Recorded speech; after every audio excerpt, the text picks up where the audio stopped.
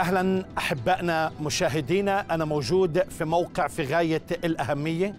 أنا على جبل صهيون ورح أتكلم في هذه الحلقة عن محاكمة المسيح. أنا موجود في الموقع ذاته على جبل صهيون والكنيسة اللي شايفينها خلفي الكنيسة اسمها سانت بيتر زنجاليكانتو أو كنيسة صياح الديك.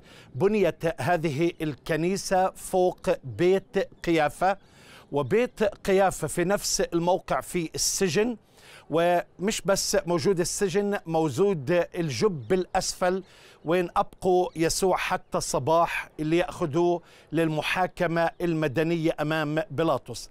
هذه المنطقة مشهورة جدا في الكتاب المقدس جبل صهيون.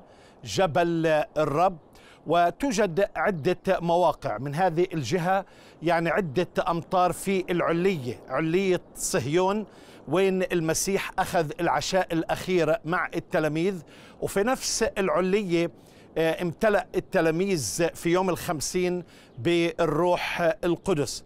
وهذه المنطقة تستطيع أن ترى البلدة في الأسفل. هذه البلدة اسمها سلوان وين المسيح طلب من المولود أعمى أن يذهب ويغتسل في بركة سلوان ورجع بصير. وترى جبل الزيتون ومسجد الأقصى وبيت عنيا من خلفي.